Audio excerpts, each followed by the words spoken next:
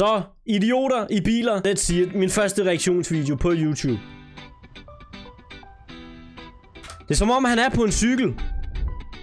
Allerede her er jeg jo nødt til at sige, what is this? Idiots in cars hedder den. Manden sidder tydeligvis på en fucking cykel. Wow! Hvorfor er 100... Det her, det bliver bare en video af folk, der altså drejer til højre. Jeg forventede folk, der kørte fucking galt. What is this?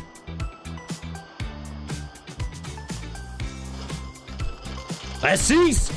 Det er sådan noget, jeg vil se, mand. Folk, der kører galt. Ikke alt det der kedelige højre svindsulykker. Det skal jeg ikke bede om. Åh, oh, han... Wait, what? Hvad foregår der? Yeet! oh, shit. Prøv at se den der bil. Smask ind i mig så bare. Vi ses.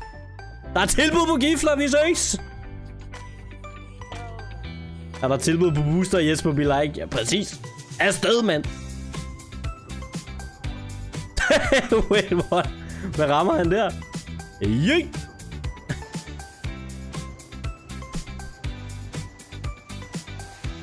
Åh oh, nej. Er det værste at man kan ikke gøre noget, når man er fanget derinde. Han er nødt til at komme ud igen, jo. Ej. Nej, nej, nej, nej. Jeg er blevet smadret den bil, mand. Smadret den. Okay, er du sunshine en bus, mand? Det er jo fucking ikke en autocamper, der, der. Det er jo en lejlighed på jul, mand. Den vil jeg have. Øh, me too, mand. Shit. Prøv at, vi behøver ikke dæk for at køre, mand. Vi skal hjem, og det er nu. det er semi-rolling.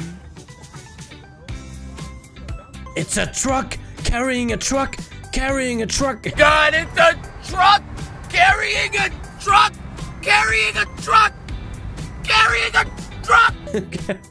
Fuck?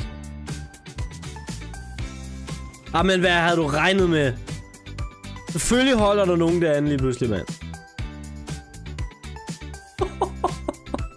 Hvad er chancen for, at de rammer det kryds præcis samtidig? Joink! Fucking hell. Amen.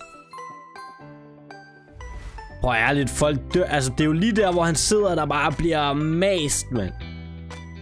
Slask. Wait, what? They see me rolling. Nej, nej, nej, nej. Ikke Lamboen. Nej, nej. Fuck Ferrari, mand. Du skal ikke køre i en Lambo. Hvad mener du? det er bare Snoop Dogg, der vil køre, mand.